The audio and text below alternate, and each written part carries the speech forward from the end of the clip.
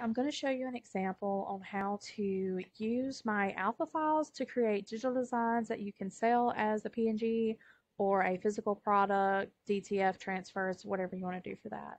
So once you went in and you purchase, you're going to go to your purchase tab. I'm just going to download my PDF from here. But you will go to this part in your shop right here, purchase and reviews, and then download the PDF that's attached to the file. And then you can just go ahead and open that up, click the button that says click here, and that's going to take you to Google Drive. And once you get in here, then you can download. It takes a second to load sometimes.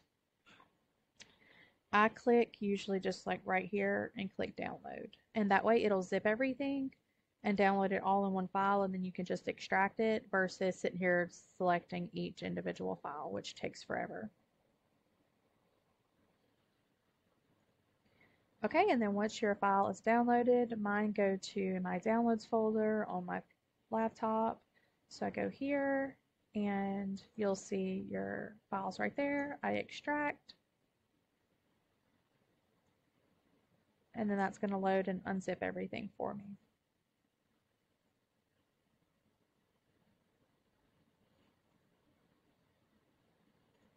And then I'm going to move over to Canva.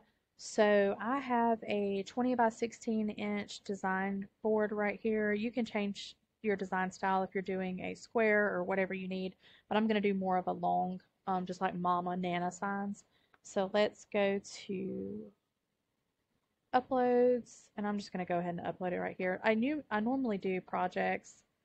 Let me actually go over there. Go to folders and then completed alphas and then that way I can just drag and drop the entire folder in here. And so that's going to upload everything for us to use. And then once you have everything uploaded from your folder then you have your alpha set ready to go. And what I like to do is I like to do this in Canva. Yes I have Photoshop and I use Photoshop for a lot of things but not for alpha set designs. It's just quicker for me to make a base file for each alpha set. So we're going to go ahead and add in we're just going to do a mama resize that just a little bit. And these letters are a little bit wider. So we're going to do it like that, and then I'm going to duplicate about there. And then we're just going to make this fit into the file. And it's really as simple as that. If you just want like a simple mama design. Now obviously if you want to add some text or things, you're in Canva already all you have to do is go ahead and add a text box to it.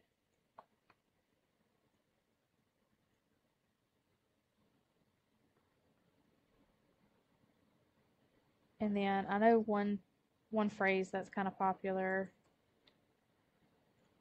Let's make sure it's actually doing colors.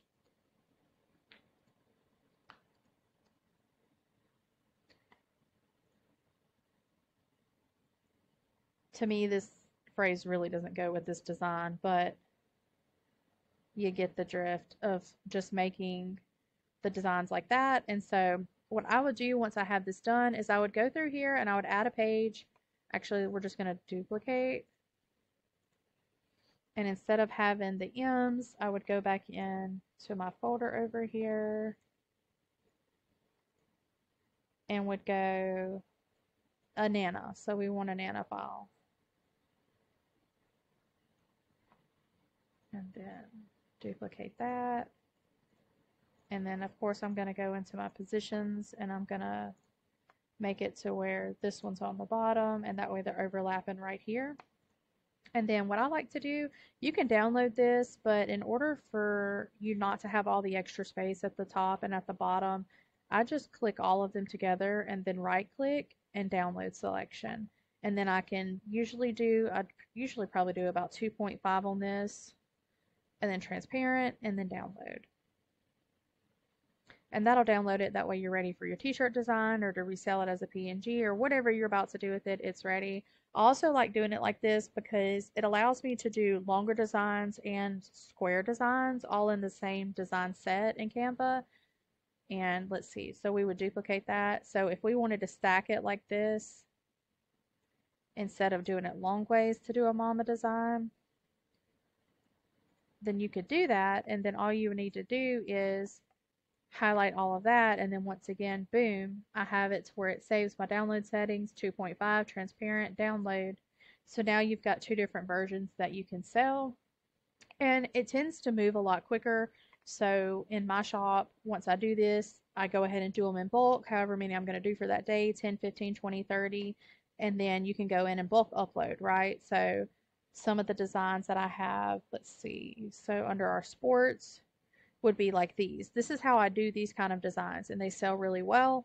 But it also just kind of moves up the process of your designing to where it's not quite as long. And so every single design that I have, so I just listed some new alphas that are in the Star Alpha set, but it's got the little checkered or the diamond pattern. And then I'm doing some right now that have the um, the smeary brush strokes on it.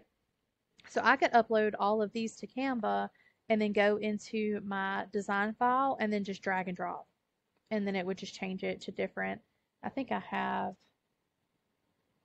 I think I have one under here that I could just use to show as an example. So let's say we want to do a different design, boom, drag and drop. Now you have the different colors in it. And so you could do that on and on and on until you've got everything done.